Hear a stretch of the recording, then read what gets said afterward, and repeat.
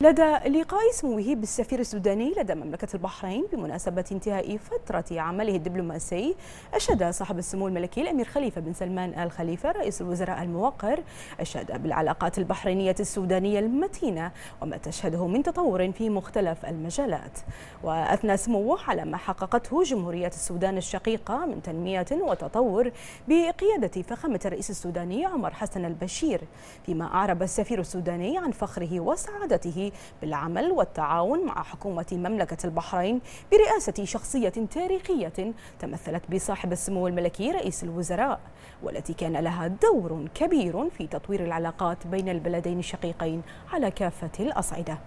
وكان صاحب السمو الملكي الأمير خليفة بن سلمان آل خليفة رئيس الوزراء الموقر قد استقبل صباح اليوم بقصر القضيبية السيد عبد الرحمن خليل أحمد أفندي سفير جمهورية السودان الشقيقة لدى مملكة البحرين حيث أكد سموه حرص مملكة البحرين على تعزيز مجالات التعاون مع جمهورية السودان الشقيقة والعمل على فتح آفاق جديدة للتعاون خاصة في مجال التجارة والزراعة والثروة الحيوانية والأمن الغذائي وغيرها.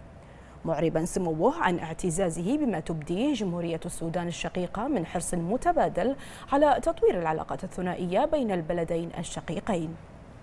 وأعرب سموه عن تطلعه إلى أن تشهد الفترة المقبلة مزيدا من التعاون البناء والمثمر بين البلدين والذي يعزز من مجالات التعاون ويفتح آفاقا جديدة تعود بالخير على البلدين والشعبين الشقيقين في المستويات كافة.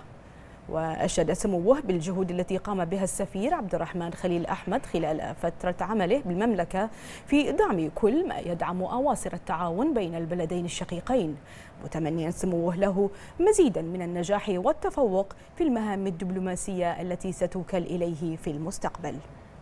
من جهته أعرب سفير جمهورية السودان عن شكره وتقديره لصاحب السمو الملكي رئيس الوزراء على اهتمام سموه بكل ما يدعم تطوير التعاون الثنائي بين البلدين الشقيقين مؤكدا أنه شعر بالسعادة بالعمل في مملكة البحرين خلال الفترة الماضية وما لمسه من دعم من قيادتها الحكيمة بالشكل الذي أسهم في تحقيق نقلة نوعية على صعيد التعاون الثنائي بين البلدين.